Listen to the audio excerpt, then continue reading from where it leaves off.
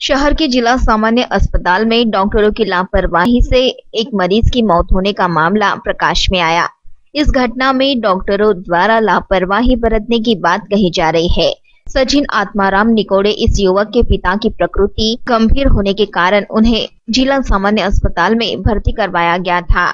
उनका चेकअप करने बाद डॉक्टरों ने रिपोर्ट देने में लापरवाही बरती।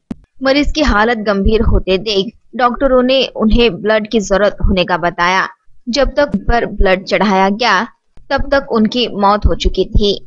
डॉक्टरों की लापरवाही ने मरीज़ की जान लेने का आरोप लगाया जा रहा है। इस स्थिति को देखते हुए दोषी डॉक्टरों को निलंबित करे ऐसी मांग की गई है। काल वडिलांना अकरा वाजता भरती केलं होतं. ब्लड चेकअपसाठी पाठवले अकरा वाजता.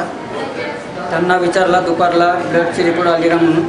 त्यांनी नाही आली सायंकाळला परत विचारला चार पाच वाजता तेव्हा पण नाही म्हटले सायंकाळला साडेआठ वाजता विचारला तेव्हा पण नाही म्हण विचार नाही म्हटले आज सकाळला जेव्हा विचारलं तेव्हा पण काहीच नाही म्हटले दुपारला पण विचारला तेव्हा पण काहीच नाही सांगितलं जेव्हा पेशंटची हालत खराब व्हायला लागली त्यावेळेस त्यांनी ऑक्सिजन लावले ज्यावेळेस एकूण रात्रोला येऊन होते तर ते आम्हाला ते दुपारला सांगितले का ब्लड वेळो पाहिजे म्हणून. ते ब्लड जेव्हा आणून लावताच्या पहिलेच ते व ते मग मी चाललं गेलो. परत मग त्या मित्राला म्हटलं की तू मला फोन करशील रिपोर्ट आल्या तर तो विचारला रात्रपर्यंत विचारत गेला तो डॉक्टरांना पण डॉक्टरांनी म्हटलं की रिपोर्ट यायची. मग ठीक आहे म्हटलं त्यांनी मग मी आज कामामध्ये असल्याकारणानं त्यालाही वाटलं की पप्पाची तब्येत ठीक असेल.